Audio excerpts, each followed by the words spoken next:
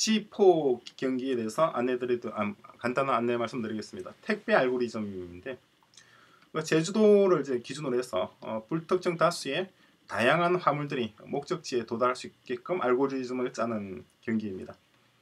교과 과정 자체는 이미 어, G3 단계에서 사실상 필요한 수업들은 다 어, 지식들은 다 갖춰졌을 거라고 생각이 듭니다.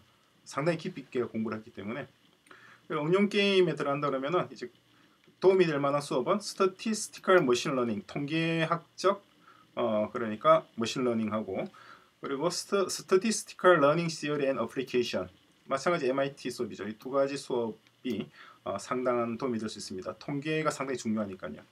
그래서 게임의 목표 자체는 어, 제주도 내에 운송되고 있는 모든 종류의 물자와 물자 화물이죠. 화물 모든 다양한 크기의 화물들을 어, 그 운송비가 최소가 되도록 어, 하드웨어적 그리고 소프트웨어적 알고리즘을 수립하는 것이 어, 게임의 주제입니다.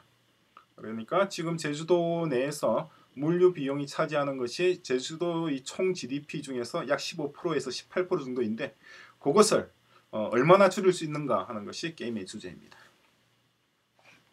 아 물론 어, 소스 코드와 어, 다양한 종류의 에, 문헌들을 어, 개발에 참조가 될수 있는 문헌을 제공을 합니다.